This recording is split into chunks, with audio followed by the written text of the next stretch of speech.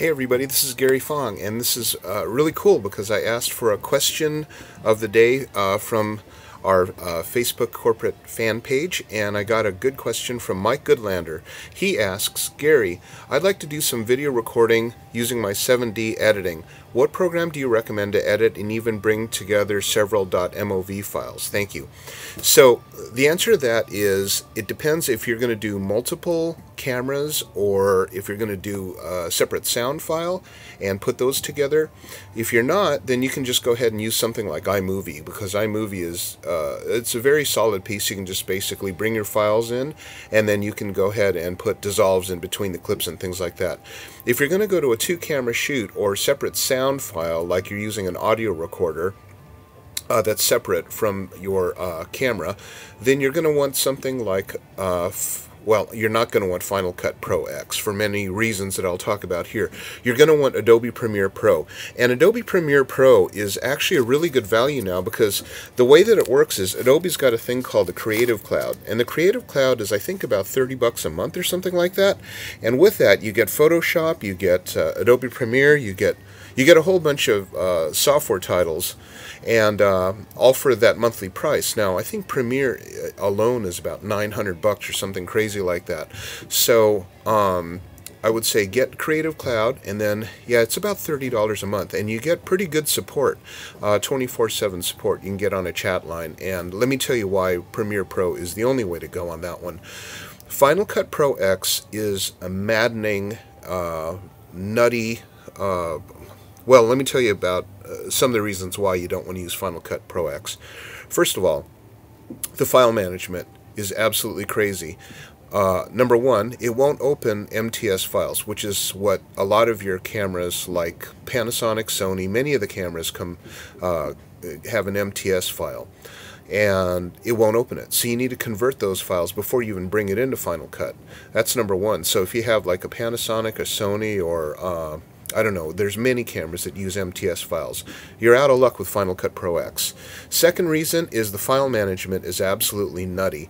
Final Cut Pro X makes all these different event files, completely its own format, impossible to trace. And if you have the any, if you've moved any of the files anywhere else, there's a big, big uh, question mark. So, and it's a big space hog. What it will do is it'll take your uh, source files and it'll create a new event. And from that event it'll create projects. Now if you don't do something that you can only find out in forums and um, uh, I mean it's it's hard to find this. But there's a thing called making a folder called hidden events. You literally have to take your events that you've done before and put them in a new finder file called hidden events or else uh, it's going to completely clog up your Final Cut Pro X. Uh, there's so many reasons why Final Cut Pro X is a very, very poorly designed, clunky uh, piece of software. Now, if you're going to go into multiple camera shoots and you want to have some fast processing power and you're going to shoot you know all of these things that say 1080 at 60 frames a second then you're going to want uh, Adobe Premiere Pro. Adobe Premiere Pro uses a Mercury graphics engine which greatly speeds up the uh, processing of the files. Um, it's so much faster than uh, Final Cut. Uh, especially on, well, you need a computer that uh, uses the Mercury graphics engine, and that would be, uh, for example, a Retina 15-inch, uh, and I believe the new iMacs. But anyway, when you do that, it, it, literally makes you giggle how fast that you can process things.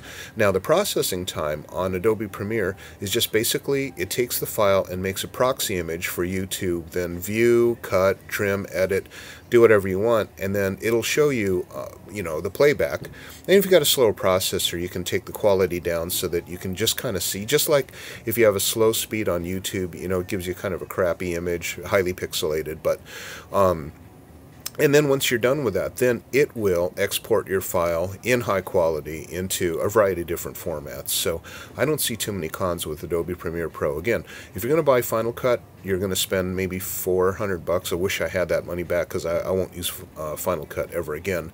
Um, but if you get Premiere Pro, it's just 29 bucks a month, and then you know you can play with it, and then discontinue if you decide that you don't want to do uh, multicam editing or you don't need Photoshop CS6. Then just go ahead and discontinue your Creative Cloud membership. The Creative Cloud membership, by the way, allows you to do two computers simultaneously, so that's kind of cool. Anyway, I uh, hope that answers your question. Again, single camera shoot, use iPhoto or any kind of simple editing software.